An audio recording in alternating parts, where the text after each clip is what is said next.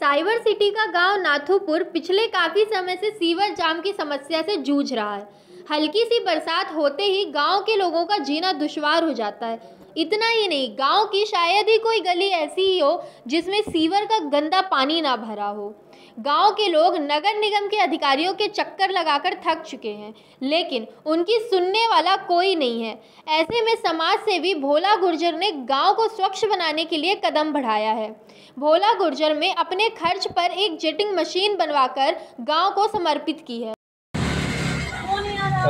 नाम बताएँ मेरा नाम भोले गुजर है मैं समाज सेवी हूँ गाँव नाथपुर का रहने वाला भोले जी इस वक्त हम नाथोपुर डी एल थ्री में हैं और यहाँ के तो हालात जो हैं दस से बदतर बनते जा रहे हैं। किस तरीके से देखते हैं? क्या प्रशासन की तरफ़ से कुछ आपको सहयोग मिल पाया है इसलिए?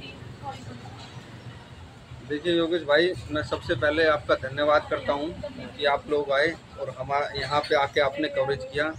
अधिकारी या शासन या प्रशासन का तो कोई अधिकारी यहाँ पे देख नहीं रहा। ये जो हालात है ये आज की ही नहीं है। और योगेश भाई मैं आपको बताना चाहता हूँ कि ये बरसात का पानी नहीं है। ये रोज का गटर का पानी है और रोज ऐसे ये बहता है। यहाँ पे कोई सुधनी नहीं ली जाती है। कम से कम आप देख सकते हो इस मार्केट में एक किलोमीटर तक का ये सीवर ओवरफ्लो की ये समस्या है पर यहाँ पे कोई सुधनी लेने वाला नहीं प्रशासन की तरफ़ से क्या आपको नहीं मिला सैकड़ों मशीनें निगम के पास है इस वक्त? देखिए अगर सरकार या अधिकारी अपना काम करते तो हमें ना जेटिंग सेक्शन मशीन लेने की ज़रूरत नहीं पड़ती। योगेश जी ये तो आप भी जानते हैं। हमें ज़रूरत तभी पड़ी जब अधिकारी यहाँ पे काम नहीं कर रहे हैं। यहाँ पे ना कोई कर्मचारी काम कर रहे हैं। हमें इस जेटिंग मशीन की ज़रूरत मुझे खरीदने की इसीलिए पड़ी।